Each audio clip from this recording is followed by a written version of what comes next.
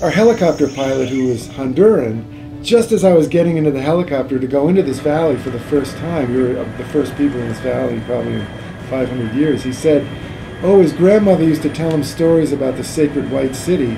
That the Spanish went in there and picked the flowers and were all uh, killed for their transgression. So he said to me, Don't pick the flowers.